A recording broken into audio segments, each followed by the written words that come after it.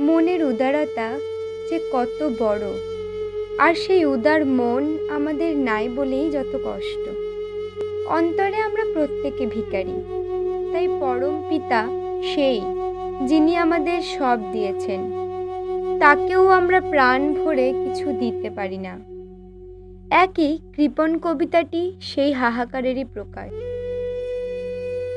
শুরু করছি কৃপণ। আমি ভিক্ষা করে ফিরতেছিলেম গ্রামের পথে পথে। তুমি তখন চলেছিলে তোমার স্বর্ণরথে। অপূর্ব এক স্বপ্ন সম লাগতেছিল চক্ষে মম। কি বিচিত্র শোভা তোমার, কি বিচিত্র সাজ। আমি মনে ভাবতেছিলেম, এ কোন মহারাজ? আজি শুভক্ষণে রাত পোহালো। ভেবেছিলেম তবে। আজ আমারে দাঁড়ে দাঁড়ে ফিরতে নাহি হবে। বাহির হতে নাহি হতে কাহার দেখা পেলেম পথে। চলিতে রথ ধনধান্য ছড়াবে দুই ধারে।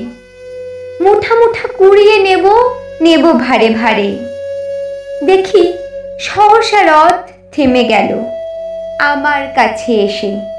আমার মুখপানে চেয়ে নামলে তুমি হেসে। দেখে মুখের প্রসন্নতা জুড়িয়ে গেল সকল ব্যথা। হ্যালো কালে কিসের লাগি? তুমি অকস্মা আমায় কিছু দাও গো, বলে বাড়িয়ে দিলে হা মুড়িয়ে কি কথা রাজা ধীরাজ? আমায় দাও গো কিছু। শুনে ক্ষণকালের তরে রইনু মাথা নিচু। তোমার কি বা অভাব আছে? ভিখারি ভিক্ষুকের কাছে? এ কেবল কৌতুকের বসে আমায় প্রবঞ্চনা।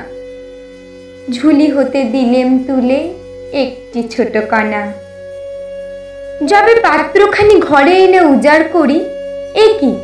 ভিক্ষা মাঝে একটি ছোট সোনার কণা দেখি। দিলেম যা রাজ ভিখারিরে, স্বর্ণ হয়ে এলো ফিরে। তখন কাঁদি চোখের জলে দুটি নয়ন ভরে তোমায় কেন দিইনি? আমার সকল শূন্য করে